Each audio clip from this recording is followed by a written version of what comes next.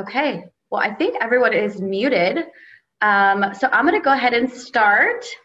My name is Deanna DiCarvalho. I am the Regional Marketing Manager at Marine Max of the Hall Marine District. Um, thank you all so much for joining and attending our first ever um, virtual Women on Water class. Um, typically, we like to do these in a classroom setting uh, at the marina, on the water, actually on a boat. Um, but since we current circumstances and um, as practicing social distancing, uh, we're working our best to um, still be able to deliver educational courses to you guys. Um, so this is our first time doing this, so bear with us and you know any technical difficulties, but it's going to be really fun. Um, we will be putting on more of these classes. Um, for the time being, you can go to our Marine Max events page or you can like our Facebook page and I update all of our events on there. Um, and then any feedback that you guys have from the class today, um, please send to me so that we can uh, see how we can improve these classes in the future. And then also make sure you let all of your friends and families or any other ladies that are in boating um, know that we offer this class for free. So I'm going to go through a little bit talking about Marine Max, and then I'm going to introduce Captain Graham, who is going to be doing our class. Um, during the class, if you guys have a question, I encourage you to type them in in the chat section, and I will be monitoring those so that way um, I can ask Captain Graham during uh, the class if you have any questions. We'll also be doing a questions portion at the end of the class, um, so save any questions that you have for the end as well. Uh, we do have a lot of people on the class today, so um, if we don't get to your questions, uh, I promise you that we will email back to you or get your questions answered. Um, we are recording today's class, so I will also make sure to send all of you the PowerPoint that we used today um, along with the class. So just to tell you guys a little bit about Marine Max, I know that um, people aren't very familiar with Marine Max here in the Charleston area. Um, we used to be Hall Marine, and Marine Max acquired um, Hall Marine about two years ago and we are the largest boat and yacht dealer in the country. Um, but we're really more than just a boat dealer. When you purchase a boat from us, um, you get the guidance of our sales professional experts to guide you through the boat buying process. Um, you also get our business manager who helps you with the finance process. And then we have an amazing service team um, who helps helps you maintain and keep your boat service um, to keep you out on the water, which is where we all want to be. Um, and then we plan really awesome, fun getaways and events for our customers. We do our annual Kiawah Island Day Away every year where we just have all of our customers load up on their boats um, and just do a really fun cookout. And then we put on really great educational courses like this Women on Water class. Um, and then I think one of the most uh, favorite parts of what our customer loves about being a Marine Max customer is our captain delivery. So um, with every boat delivery on the day that you get to take your boat home, um, we have Captain Graham help you, guide you through, you know, learning your new boat and whatever questions you have, he's there as a resource. Um, so with that being said, I'm gonna go ahead and introduce Captain Graham. He's going to take over the class. Um, and again, I'll be watching the questions portion. So any questions that you ladies have, please don't hesitate to ask. Hello, everyone. Captain Graham. Uh, it's great to be here with you all today. Uh, yeah, this is our first virtual presentation and uh, Boating Basics 101. Basically, we're going to go over a, a bunch of different topics today. And believe me, there's no such thing as a dumb question. So if there is a, a pertinent question about one of the subjects that we're on, uh, Deanna would love to take that question and relay that to me, and I can uh, either either I can answer it now or we can do some further research, get back to you via email. But without further ado, um, welcome again, and let's get started. Uh, I'll just introduce myself. Um, I've been working with Marine Max since last summer. I love it. I am the uh, in-house boat delivery captain. I'm also a technician and a rigger um, pretty well rounded in um, all of the boating aspects here except sales. So uh, in the service department, we do um, a lot of service on boats that we have just received from manufacturers. We get them ready for sale, and also I fix boats that happen to have uh, broken down or had some issues along the way. So uh, my past experience in boating, I started off as a teen in the U.S. Coast Guard. I served two tours um, in Hawaii, California, and New York. I was a federal law enforcement officer, search and rescue coordinator, uh, emergency medical technician. Uh, I was in precision navigation and a whole bunch of other hats that you could wear. Uh, yeah, I got out of the Coast Guard after about seven years, moved to Boston where I operated ferries, dinner cruises. I uh, operated ones about, you know, triple deckers, 400 person, uh, 400 passengers, and do cruises around the harbor uh, for private events and the. When I moved to Charleston about seven and a half years ago, I started immediately with Towboat US, becoming the uh, manager of operations there and the lead boat captain. After a few years, I wanted to try something new, and uh, here I am. Anyway, I'll go to the next slide and we'll start the presentation. We'll start off with a little bit of boat nomenclature or terminology. Now, if you want your salty points, it's good to know the official names of a boat, and we'll just start off with some basics. Of course, uh, forward is the same thing as forward, but if you're walking to the rear of the boat, you're walking aft. All right. The pointy thing on the boat, that's the bow. And the rear of the boat is called the stern. But if you're walking towards the stern, you're walking aft. Uh, we have the left side and the right side, but a salty mariner would never call it that. We call it port, starboard, left, right. What's the um, amount of water, or I'm sorry, the amount of boat that you have below the water? The amount of hull is called your draft. So if someone asks you, what's the draft of your vessel? We're talking about how deep does it sit from the waterline. It also has a lot to do with if you're going to know, uh, if you're going to be traversing through some shallow areas, you need to know your draft, uh, especially when it is low tide. We have marker 117 alpha in ICW, the Intercoastal Waterway, that seems to be like flypaper for all of the sailboaters that have large or deep draft vessels. So I've been told that we can't see our PowerPoint. Oh, okay. PowerPoint, if we could fix that real quick. Um, I'll just keep it going though. Um, so yes, we have the water line here, and this is our draft below the water line, the deepest point of our boat. Uh, the deepest point of your boat is also called the keel. But once you get back above the water line, this is called your freeboard. And uh, let's let, let, me know when we can see the slides again. Okay. So now the most aft or the farthest rear part of your boat, the most aft part is called your transom. The transom is what normally, if you have a, a motor vessel, your engines are connected.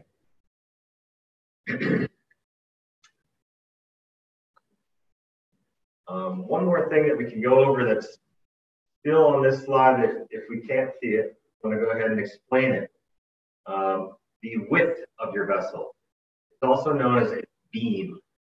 So if you have an 8-6 beam, that's how wide your vessel is. If you're walking from, okay, this is my bow, from walking from starboard to port, I am walking a thwart shift from beam to beam.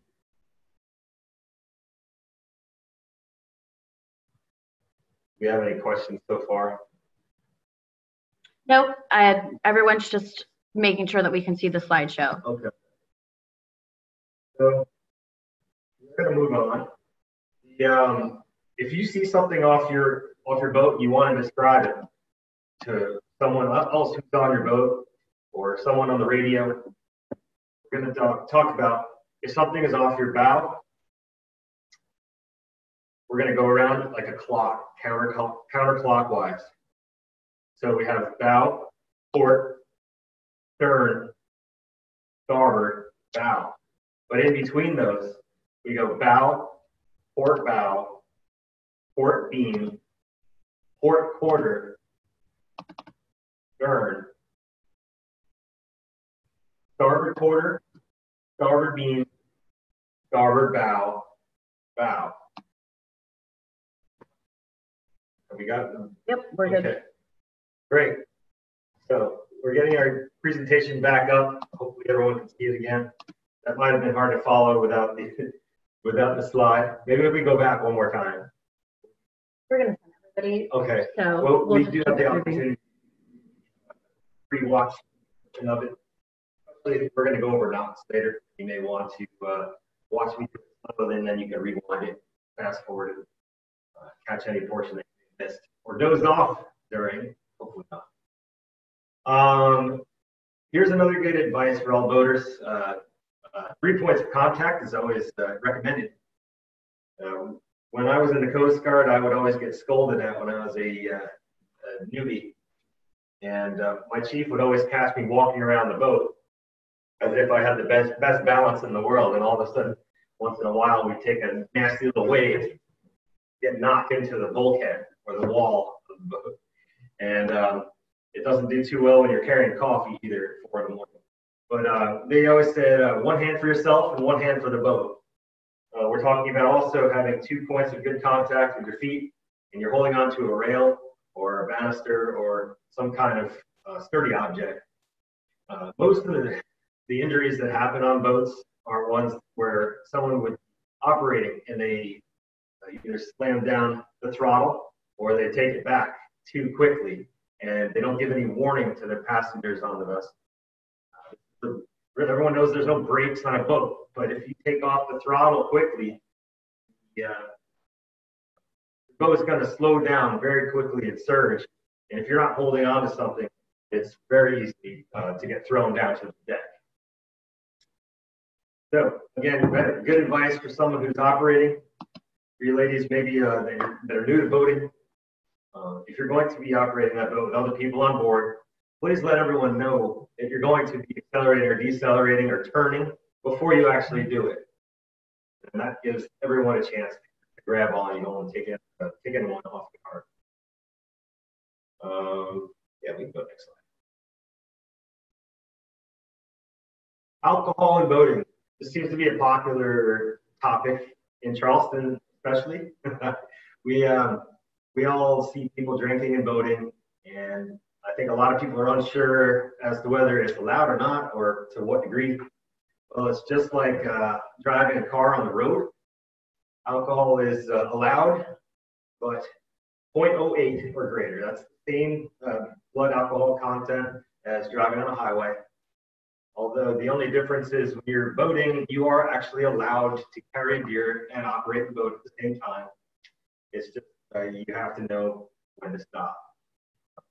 I used to be in law enforcement the Coast Guard, and I have given many, many, many BUIs or boating under the influence uh, violations. What would happen is somebody would be voting, and we would just be kind of coming up to them to do a standard uh, law enforcement stop, check the life jackets, check registration. Uh, we don't need an apparent reason to pull anyone over, so it's not like, oh no, you were swerving. That's why we, no, it's not like that. Coast Guard does not need a reason. We have um, not just Coast Guard, but DNR, Department of Natural Resources, uh, local city police. Um, we also have, uh, well, we've got many different Coast Guard units, and the sheriffs are out there. So they're all able to pull over a boat without warning, without reason at any point. If you do blow point or 08 or greater, and it go back real quick, and if it was deemed uh, to be uh, 0.08 or greater, I'm sorry, if it was, uh, if you're deemed to be op- operating under the influence, your boat could be seized or sold at an auction. Uh, could affect your driving record. Could uh, possibly get your license suspended. We're talking your car license, your vehicle on the road license. You know, it's not a car. It does um, tend sometimes.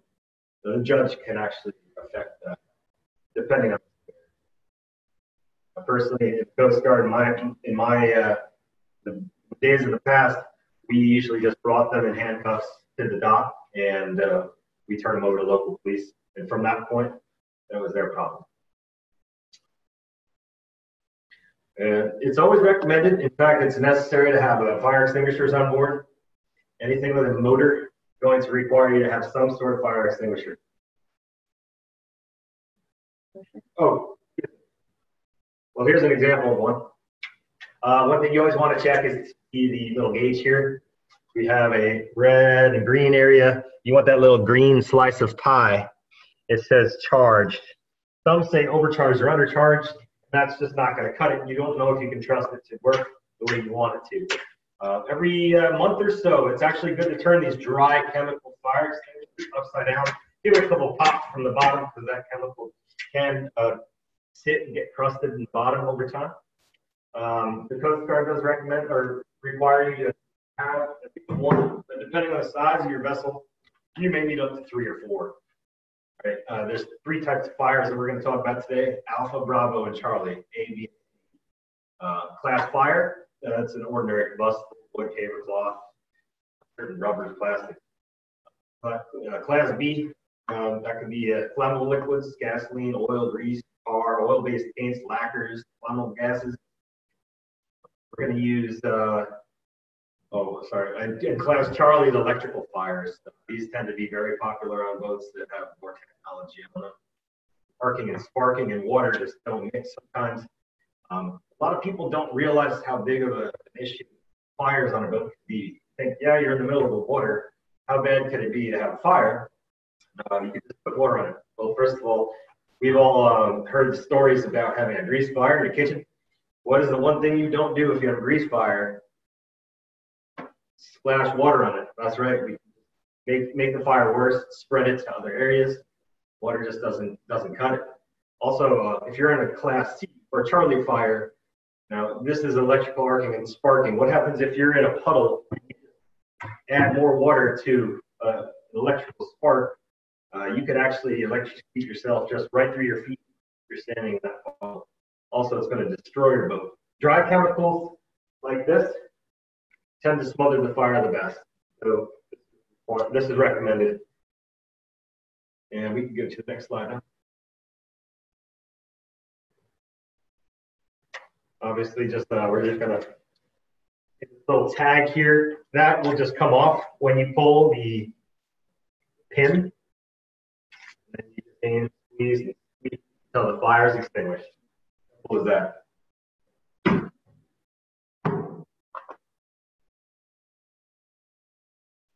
Cold water and boating. Uh, okay, we're, we're blessed with pretty good uh, temperatures and climates here in Charleston. Uh, we do uh, experience several days a year under 30 degrees, which can be uh, considered in the freezing point, where uh, it's important to dress properly. You know, you're not supposed to wear jeans when it's cold and you might be getting wet. You might not ever get those jeans dry again. And hypothermia can set in pretty darn quick, especially when you're on the water where it's windy it's unforgiving. Uh, I would recommend wearing neoprene, kind of like a spandexy material as your first layer, and then another layer and another layer on top. And this little pockets of heat against your body doesn't allow it to escape as well. And also, uh, wool is a great insulator even when wet. Now, uh, if you're wearing one big jacket, like a down jacket or a Carhartt jacket, say you fall overboard, it's going to be pretty hard to swim in that thing. It's going to sink like a rock, um, and it's really not going to insulate you once it's wet. Uh, if you do fall overboard, God forbid, uh, we did something in the Coast Guard to uh, practice. We do survival swims, and we learned this thing called the HELP position or heat escape lessening position. Um, so it's a survival move. Hopefully, you have your life jacket on if this does occur and you've fallen overboard. But how it's going to look is if I don't know if they can see me when I squat down here. I'm gonna just get down and if I'm in the water, I'm wearing a life jacket, and hopefully I am because I might have hit my head when I fell overboard. And uh, some life jackets are actually able to right your face out of the water when uh, you're unconscious. But the best thing you can do is just conserve your energy. You're gonna tuck your armpits because most of our heat is lost through their, our head, armpits, uh, I'm sorry, armpits, groin, and feet area. Well, we're just going to do the best we can to not move as much as we can. If we do see a boat, obviously you want to wave your arms, but if we're, if we're just going to be sitting for the long haul, waiting for some kind of rescue, tuck your arms, tuck your feet, tuck your knees, chin down, and just hope for the best.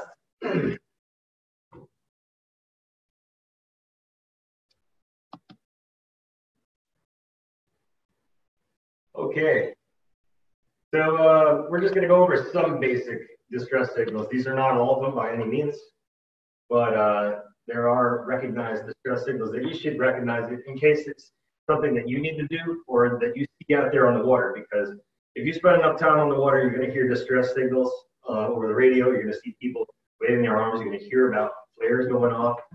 Um, some people uh, don't just don't know. They might see a flare and think, "Oh, people are just shooting that off for fun." But I'll tell you the truth: if you shoot off a flare near the water and it's not an emergency, you can get fined, pretty hefty fine, by the way, and even thrown in jail.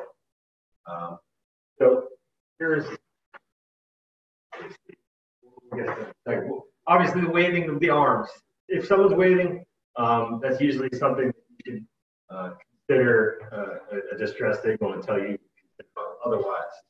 Uh, waving an orange or red distress flag, uh, shooting off flares. Now, going to go over flares real quick because a lot of people do carry these. It's recommended on, on inland waterway travel, but not necessary. If you're going offshore, this is uh, required. We have our flare gun here. It's just like a shotgun, a shotgun shell, and it's got a uh, little pin inside. Whereas if you cock it back,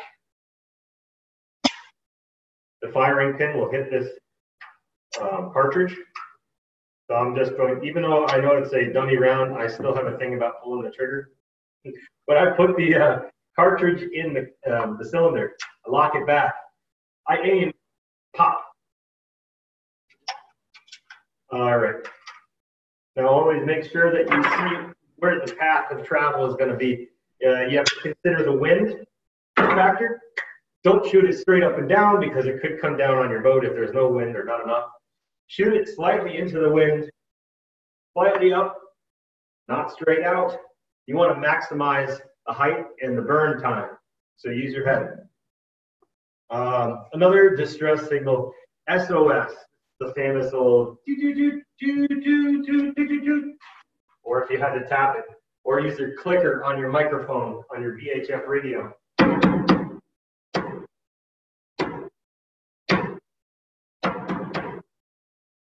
Souls. Um, how do you hail distress on a VHF radio? This is a good question. Um, first of all, it's not required to have a VHF radio. Highly recommended though. Um, if you need to call distress, you're going to be on channel 16, the national international hailing and distress frequency. You have to tell people where you are, what's wrong, description of your vessel, and um, you know, hopefully there are other people around that can that can come to your service. Hopefully the Coast Guard is uh, available and has units en route. But um, we're going to hail it on channel 6. Again, you always need to know where you are, what the problem is, description of your vessel, followed by a whole bunch of other information that the Coast Guard's going to, like how many people on board, um, what kind of safety equipment do you have, and are there any kind of underlying conditions people on board like heart older or younger people can't take care of themselves. Uh, let's talk about more dis- distress signals. We've got, if you hear gunshots, this is not normal um, at one minute intervals. Right? Certainly, there are places where people are allowed to shoot shotguns off of their John boats and go duck hunting, yada yada.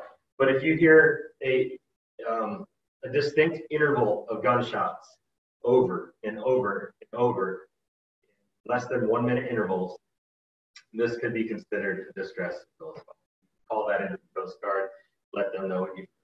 Uh, also, black smoke. This is probably the most obvious one. I don't think anyone does anything with black smoke, smoke on purpose, and uh, this could mean that you're having a, uh, a Bravo fire with flammable liquids. You've got gasoline burning.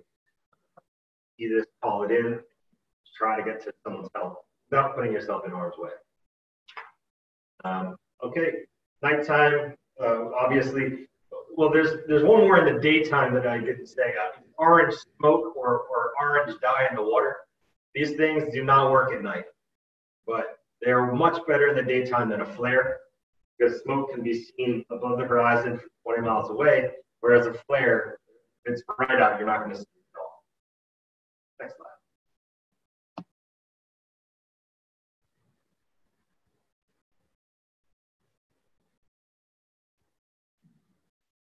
Okay, why should I get a VHF radio and not just you know, rely on my cell phone?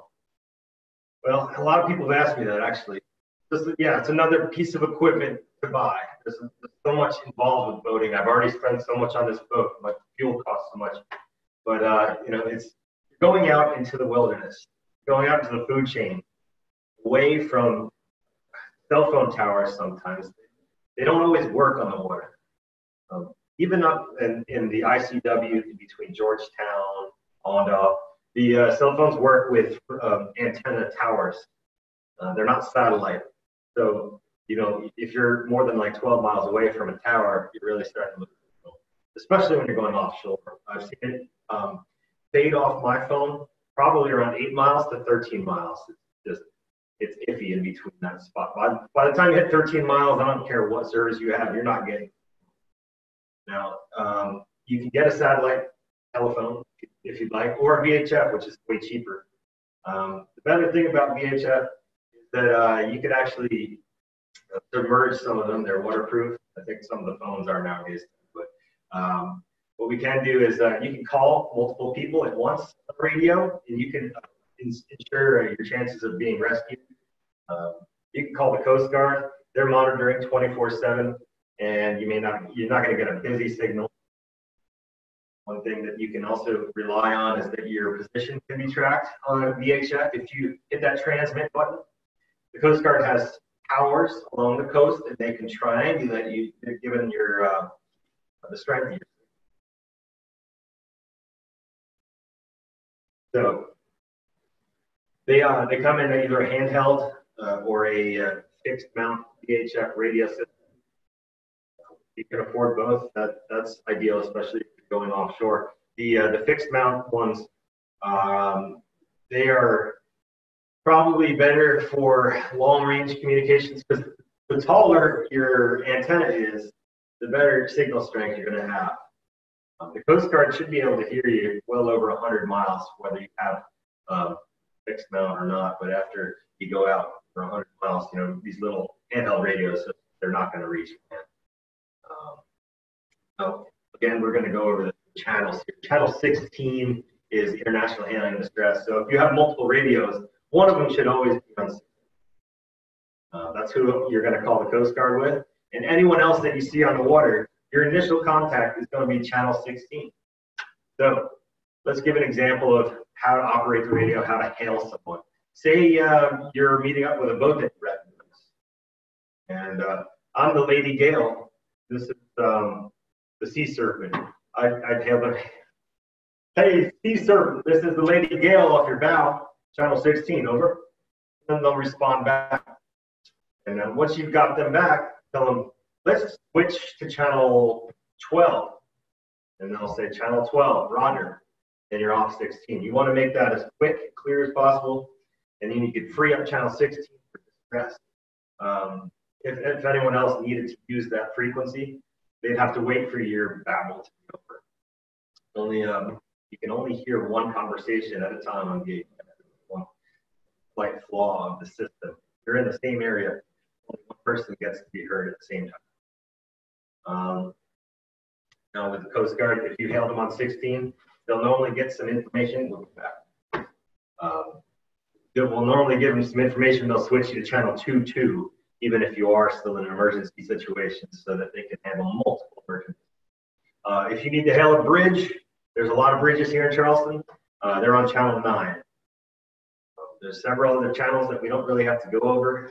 Some, some are for commercial use, some are for anyone else that wants to use them. Um, there's a weather button, WX. That's uh, for NOAA, or National Oceanographic and uh, Atmospheric Administration they do uh, the official government weather. They'll do a repeating uh, message about impending weather, storms, tides, things of that nature. Uh, DSC, I don't know if anyone knows what that means, but uh, just, you know, in the last few years, they've been putting digital selective calling on VHF radios. This is a, a newer feature that allows uh, the Coast Guard to pick up some information if you press this button. Uh, you have to register your radio. Um, it's got a specific serial number in that radio. And um, if you register it with your information online, it'll, once you press this button, means you're in an emergency, right? you're in distress. This is your name. This is where you're from. This is a description of your vessel. And all of that can be done with just the press of a button instead of spending two minutes or more while you're in an emergency telling the Coast Guard this, maybe with not even um, very clear communication, but there might be interference. It's uh, not always easy to describe what's happening when you're in duress out there in the water. Slide. Ooh, my favorite part, common useful knots. I love working with line. I've been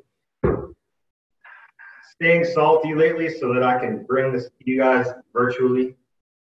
But here's an example of a double braided nylon line, kind of a common type of line that boats would use to moor up to the dock and to other things. Um, why, why do I need to know the proper way to throw a line? Probably because you can't push a rope right? You're not going to get very far trying to toss a line that has knots in it or not times that you uh, really where it's important is if you're coming up to a dock and you have an off the dock wind, it's blowing you away from where you're trying to go. And boats tend to not uh, operate sideways very easily. Is that right? So if you can get your bow close enough to the dock and you have a line ready to throw, you can throw this to a dock attendant or even try to lasso yourself to a cleat. Now, this is something that takes practice. I'd rather do in person, believe me, but we're going to have to make do. So first we're going to take a little bit of line here. I like to hold it up with my left hand and I just make coils. And I'll make a few coils. And I know that there's no knots in my line and it's not attached to anything and I'm not going to hit anything when I throw it. So with my right hand, I'm going to hold on to the, the bitter end and I'm going to take about half of it with my other hand. I'm going to back up a little bit. All right. And then I can just kind of wing it and throw. It.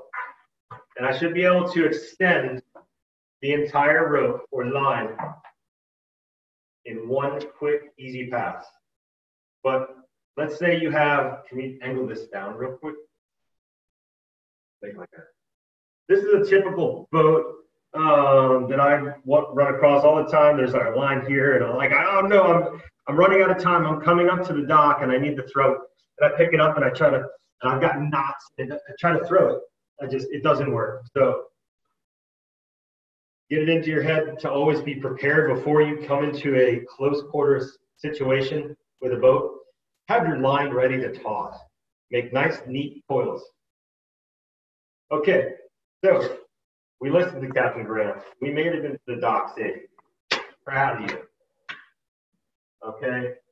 Um, I don't have a cleat here with me, but we can pretend that this anchor is a cleat. If my lovely assistant Deanna wouldn't mind uh, holding this for me for a second. Hold it just like that. So cleats have basically two points. And you want to just make sure that you're going, you're doing crisscrosses from one part of the cleat to the other. Crisscross, you got two figure eights over the top. Now with your last one, it might be hard to see, but you want to twist and do a locking cross. That one more time, maybe a little bit closer so that they can really see. Okay wonder if we get a better next time. So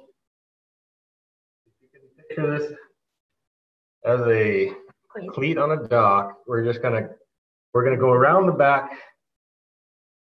We're gonna come through the middle, go over the top, and we're gonna make it a figure eight. And we're gonna do another figure eight.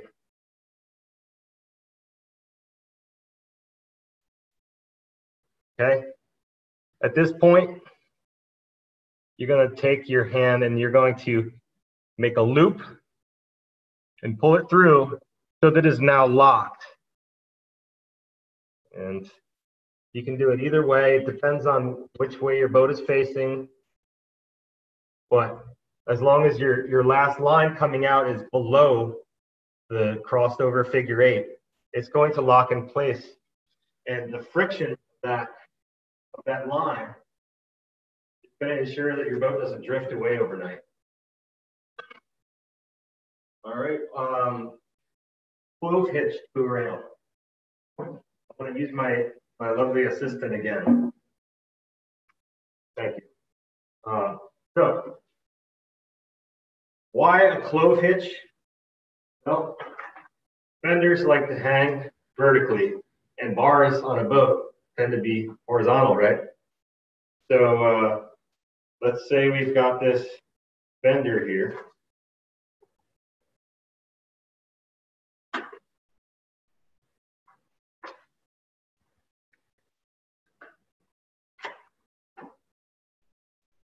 Okay. I'm just going to have my fender hanging down. All right. With my line here, how best to attach it to the, the uh, side rail of my boat. I like to use a clove hitch. Get a little closer. So right here is a turn where the, the line just kind of comes around once like that, does a 180. That's a turn. This is called a round turn. So 180, 360. That's a round turn. A clove hitch is going to have two round turns, but on your second round turn, it's coming up inside of that crossover. And it's going to look like a neat little X. If we can zoom in, it looks like this, the white background there. Yeah.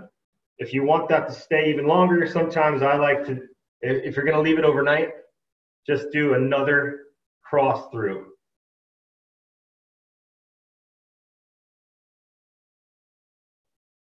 That would just be a double clove hitch. But you could put all the weight you want in the world, you could hang off that, and the friction of this line is going to ensure that that is going nowhere. And I know it's kind of hard to see on the computer, but feel free to rewind it, rewatch it. And if you have any questions or you want me to do any of these over again, please let me know. We have um, some time here if we do need to take questions.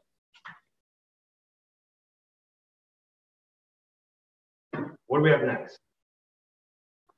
A round turn and two half hitches. This is also one I need a bar for. this is an alternate um, or alternative of the clove hitch. All right, I'm gonna try to keep this. Uh, by the way, if you're wondering what this is behind us, the Type 4 throwable. This is a Marine Max style, but they're all the same. Type 4 throwables are required on every boat. It is uh, a life vest cushion that you can throw and make pretty good distance. Coast Guard will ask for that when they board you. All right, round turn. So we know what a turn is. That's just this. Round turn. And then two half hitches. So we're going to come around the bottom. We're going to come around the bottom again.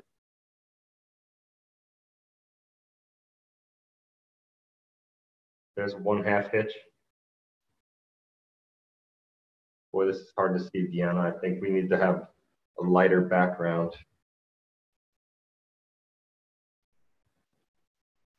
But that's what it's supposed to look like. And if you tighten it up, it actually looks neater. But also a very salty knot. If you take any of this home today, try to remember knot and impress your loved one with it. Yeah, we're gonna do a, a bowline. Now this one is uh, one of the hardest knots that you're to learn, and it takes a lot of practice. We don't need this pole anymore. Thank you. Um, I'm going to hold this uh, standing part with my left hand. I'm going to take my right hand and I'm going to make a loop upward. I'm going to send the famous rabbit through the hole around the back of the tree, back through the hole once it came.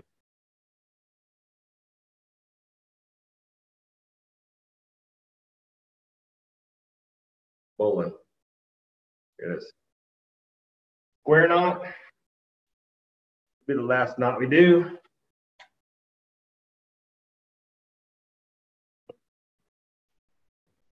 Hold on one second. So for joining two different lines of the same or equal size and type, we're just going to cross, make it like a like a shoe tying thing here. And then we're going to do it again over the top. Trying to keep it in front of that type four. So square knot here, and you can test it by going like this. Otherwise, if it doesn't do that, you've got yourself a granny knot, and they do not tend to hold very well. Line stowing, the last portion on lines. I uh, I kind of get a little bit of OCD when I see lines just kind of scattered around the deck, thrown around. If you're going to have a nice vessel, you might as well make it look nice and drape your lines around it in the proper fashion. So we're just going to make coils like I started out with earlier. And these coils will be smaller or larger depending on how long your line is, how manageable it is. I've got equal size coils with no, no uh, twists in them. I'm going to do a loop around the top, maybe another second loop. And then I'm putting a bite through the top of the loop Then I'm putting the bitter end through that loop. We just had a question um, from Dar. When do you use the varying knots? Okay, uh, which knots are we talking? Dare, if you want to type in if there's a specific Dar, if you want to type in if there's a specific knot that you're inquiring about, um, yeah. she said, when do you use the varying knot? Well, we, we talked about the clove hitch first. That was uh, basically it's the best one for hanging fenders off the side of your boat. And the, the round turn for the two half hitches, that also, that also works for hanging fenders. Um, we, we've got the cleat hitch, and uh, that obviously is basically meant for just cleats. The bowline, um, bowline works if you need to put a temporary eye in a line. So uh, maybe you've come to your boat one day and we noticed that there used to be an eye splice at the end of this. Well, now it's, it's snapped. It's snapped overnight and you're on your boat's hanging on by a thread, maybe just one line instead of two, or two instead of three lines.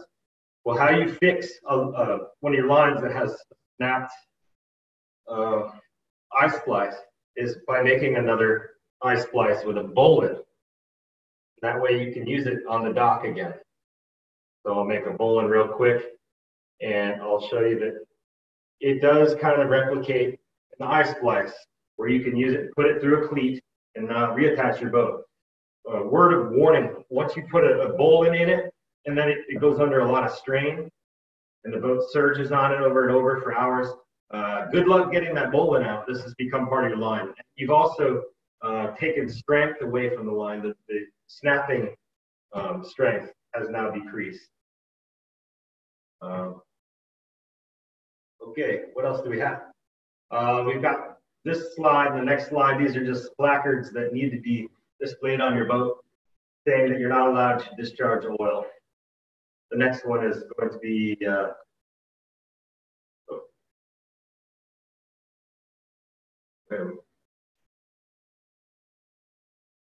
on the slide. Hold on.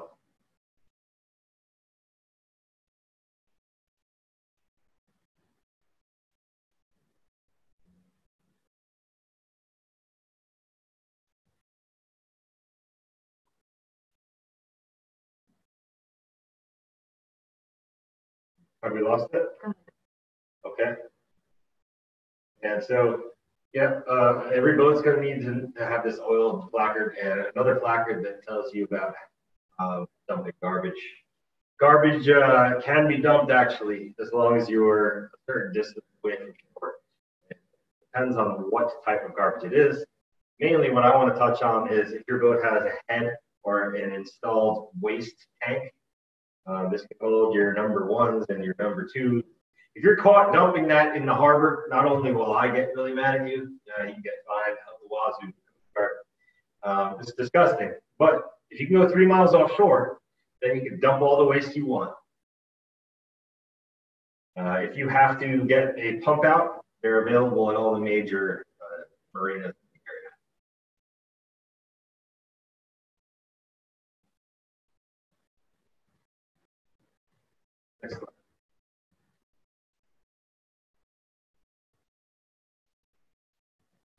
Okay, first aid. Uh, I'm not going to go over too much on what needs to be in your first aid kit.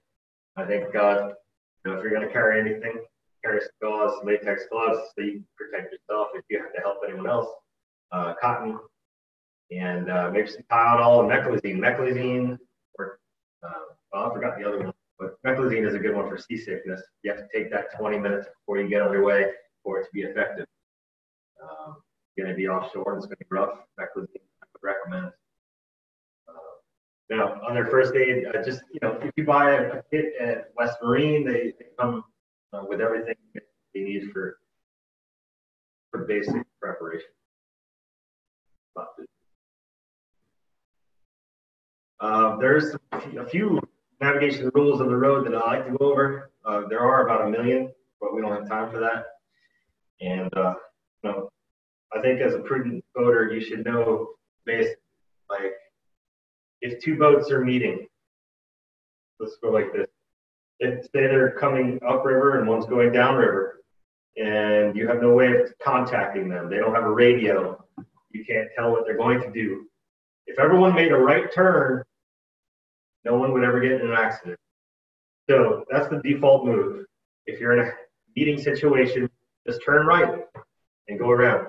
And if um, if if you can, you have a, a sound producing device, which is also required on a boat. Uh, one short blast, that means you're going to, to alter your course to starboard. Now, uh, hopefully the person that you're meeting will also uh, return that, that one short blast. If you make two short blasts, that means you're coming to port. Boop, boop, port. One blast, per starboard. Now, this is uh, what you're calling an overtaking situation. If you're coming up from, from the stern of another boat and you want to go around them because you're in a confined area, like say the ICW, the intracoastal waterway. Some places can get really thin, um, maybe only 20 yards wide. So if you're going to be overtaking someone, it's best to make a sound signal first. Again, one short blast to go around on the the starboard, if you make a right and you pass your port to their starboard, that's one short blast. If you're going to go around them to, if you're going to the left of them, you got to sound short blast. So if you alter your course to starboard, one short blast. Alter to port, go around them that way, two short blasts. Um, if they happen to alter course while you're trying to pass them, it's still your fault if there's a collision, right? They are the right-of-way vessel, you are the give way. Because they, they may not see you or hear you coming up from behind. Um, here's another type of situation. It's called the crossing situation. Um, this is a really good one to know because there's a big reason why there's uh, red and green lights on boats. Uh, here's what you're going to do. you're going to look at a, a, situation at night where two boats are converging uh, on a collision course, okay? One boat, you're going to see um, a red light, the other boat's going to see a green light. Well, whoever sees the red light, that's the person who's going to stop and give way, let the other get right of way. Uh, if they see you're green, they're going to be like, okay, I got the green light, I get the right of way. So if, if this doesn't make sense, please let me know. But um, the port side has the red light. And if that other person sees your port side, you have the right of way. But don't assume they know that. This is the proper way that uh, the rules of the road work. Now, what happens when there's no, uh, well, when it's daylight and you don't have your lights on, you can't see. Well, just know left is your red side. So if they see your port side, you have right of way. If an accident happens, they're going to be at fault. But you know, it's still your job to assume they don't know. Is there an easy way to remember that, Captain Graham? That usually people use like port and left. Um, port left, green covered. Like port has four letters in it, so it's to your left. Or like Right. port wine, I think I've heard before as well. Yeah, I've heard a lot of people like the whole the four letter thing. Yeah, that that makes it easier for you. That's how I. I Yeah. was just wondering if you had, you know, what something that you use, tricks of the trade, you know. P O R T L E F T. That's an I couldn't imagine any easier. uh, there's a lot of types of buoys out there and signals that you'll see uh, visually.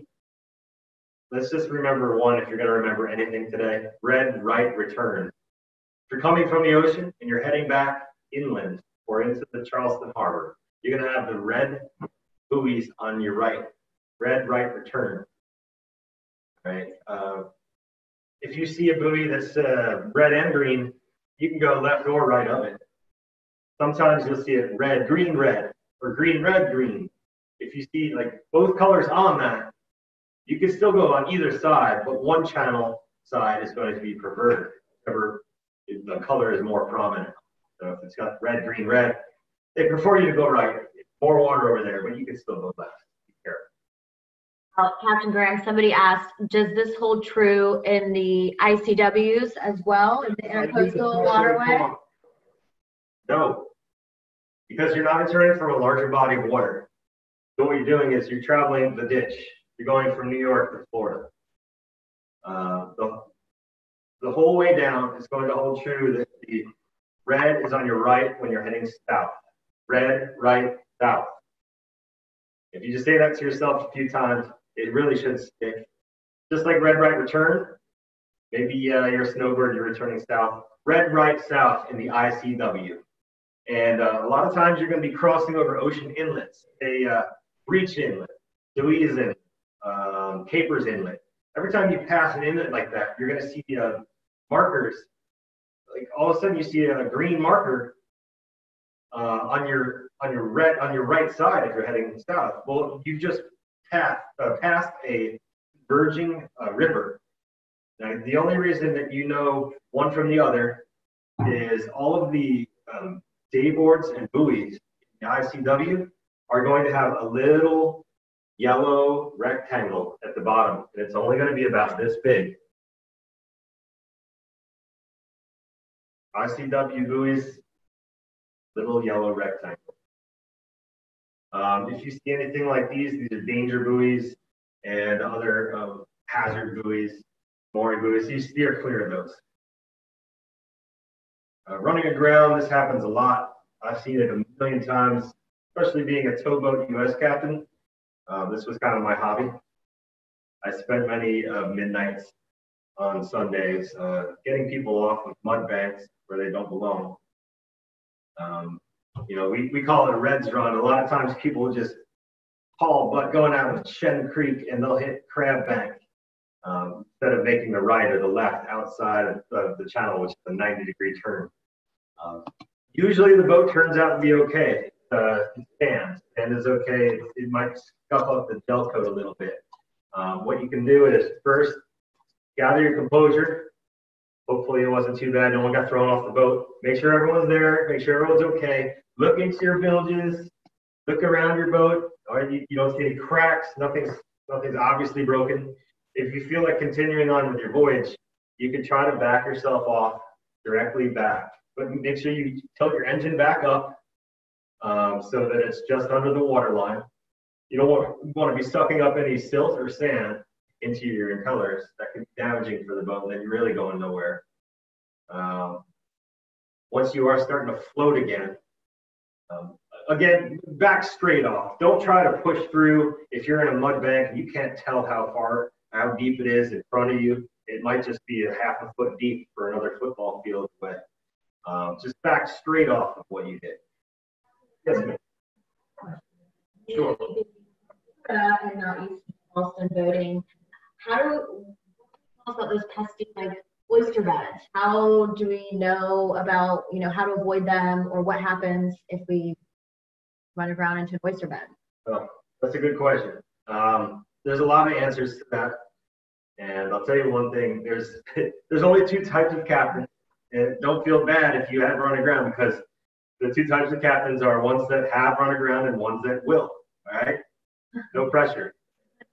Um, the best way to kind of get your feel for a new area, if you might be new to Charleston, I would recommend getting on a boat, cruising around at moderate slow speed at low tide. All right, we can look at a tide table and go out there and time it so that we can see more contours, um, more features, more land is exposed at low tide.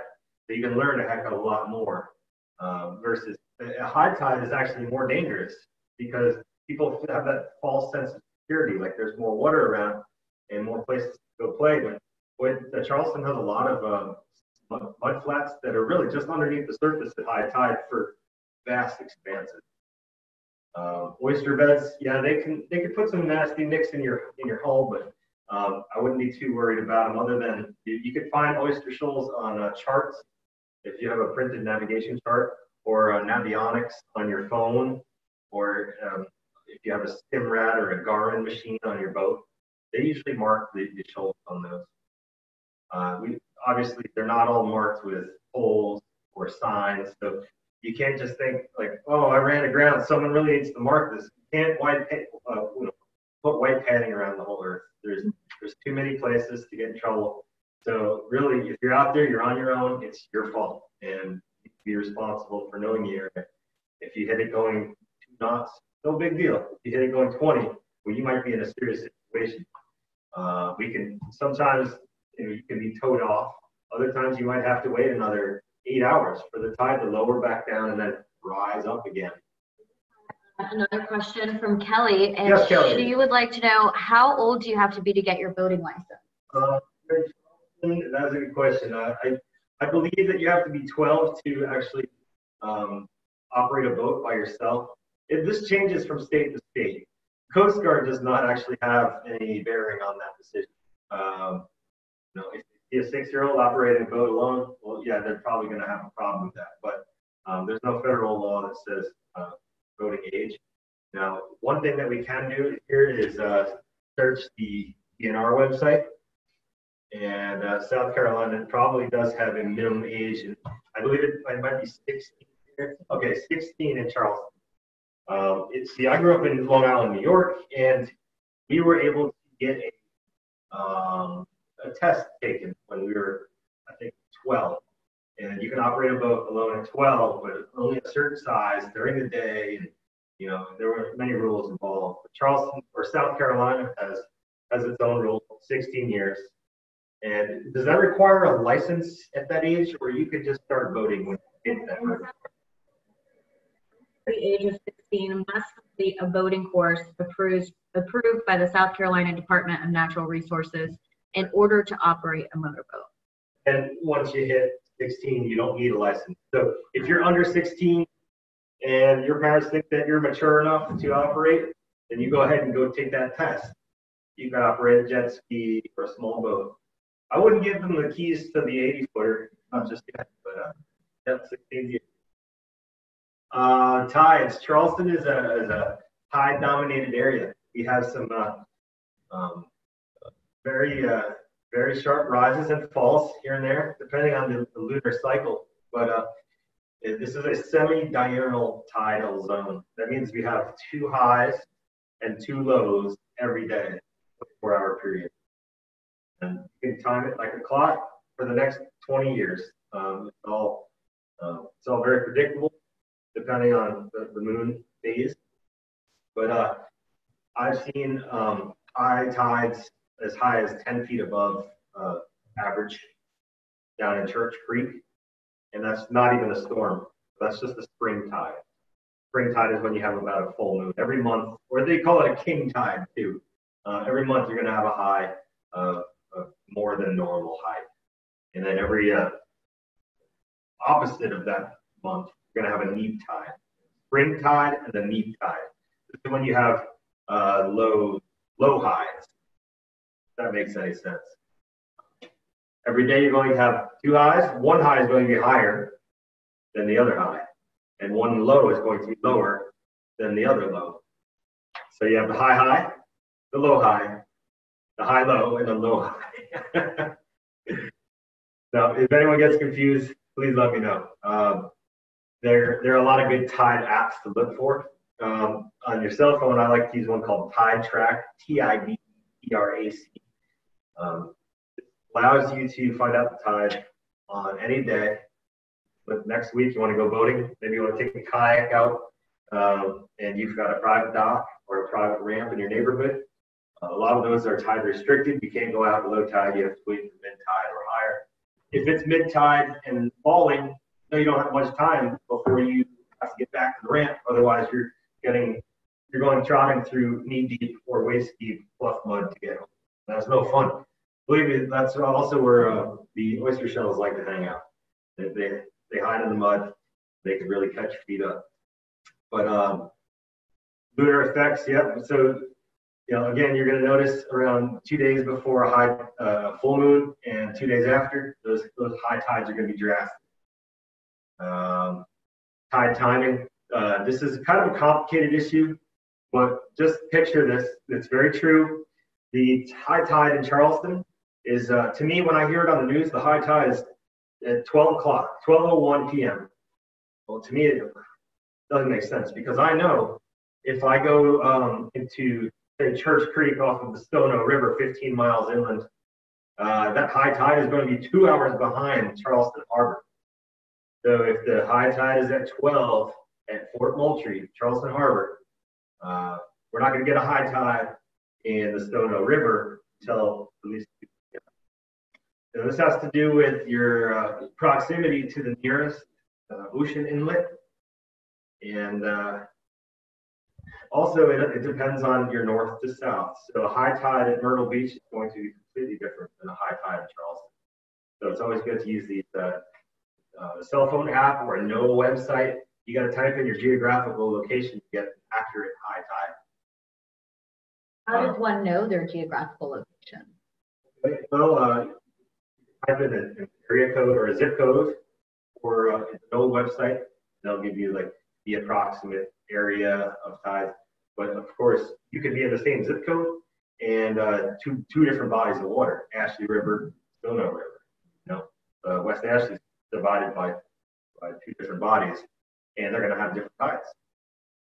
So um, there there are things called tidal stations, and uh, all of these apps you use, going to actually want to click the closest tidal station to you. If it's on a map, here you are, you can see where you are. You can see the closest tidal station to you. That's going to be the most accurate number. Uh, just know that you know the longer the river is, without if say if you go up the Cooper River, it goes up 30 miles before it hits the dam. That's going to affect the tide as well. So as, the, as the tide is either flooding coming in or the tide is ebbing going out, you're going to see a lot more ebb time on a river like the Cooper because it's got nowhere else to go. It's got to come all the way back out to the ocean any more questions come up, I'd love to answer them. Absolutely. Um, we did get one more question from Dar, but ladies, now is your time to ask any questions you may have. Any questions that you can think of that maybe you know you've been on a boat and you thought it was a silly or an obvious question. Um, that's what Captain Graham is here for today. So um, as we are wrapping up, I did have one more question. Um, we travel all over the country. Does your residence state registration and licenses apply to other states? Um, and yes, actually, I can answer that question. They do. Um, so just so you know, you're able to use your license and registrations in other states. Um, I also had another question from Amber Murray. Um, at minimum, we would like a boat with a restroom. I think the correct term is ahead. Yes, Amber, you're correct. It's ahead. Um, what is the starting price point for a boat with that feature? Um, out of the boat lines that we carry and our main boat lines that we carry, Amber, are um, Sea Ray, Boston Whaler, and then we go into our yachts. Um, but the starting price point for a boat with a head in it would be right around 65,000. Um, that can vary depending on the features that you get, obviously, and boat show season too, which um, can also vary in pricing. Uh, highly recommend you checking out our inventory where it's always constantly changing and we're able to pull inventory from any of our 60 plus locations. So if you've been um, shopping for one, I definitely recommend uh, going online and checking out to see all the different features and uh, models that we have. Um, so Kelly asked where we're located. Great question, Kelly. Thank you for asking. We are located on Daniel Island, right off of uh, Clements Ferry of 526. Um, we're the big yellow building um, off of 526. You can't miss us. Um, we are here Monday through Saturday. Um, if we don't have any other questions, um, I will post um, the next virtual Women on Water class that we're going to be doing on our website, marinemax.com, the events page, or you can go to our Facebook page. Um, And I just had a question from somebody asking, um, we are recording the class. So uh, if we don't have any more questions, at the end of this, I will make sure to send you ladies um, the recording along with um, the PowerPoint so you can use to reference. Um, and then please feel free if like any questions come up later, don't hesitate to email them to me. Um, I'm definitely gonna be looking for all of the feedback that you guys have from this. Again, this was our first time, so thank you so much um, for bearing with it through us. Um, we will schedule more classes that I'll put on uh, online. And once we are able to um, do our regular classes, which uh, consists of about an hour classroom style, kind of what you guys saw here today, and then um, a couple hours actually out on one of our boats um, where you get to learn how to drive, um, you get to learn to tie knots hands on, you get to learn how to dock the boat, and you have Captain Graham there um, walking you through every step of the way. Um, so, I don't baby those engines either. We're gonna get them going. Yeah, it's a lot of fun. Um, again, with the circumstances, we're happy to still being able to bring this class to you guys virtually. Um, so keep a lookout for when we'll schedule the next one so that you can let all of your friends and families know to, to join in. And um, thank you all again so much for joining us today. Thank you. Um, if you have any questions, don't hesitate to give us a call or reach out to us. Thank you.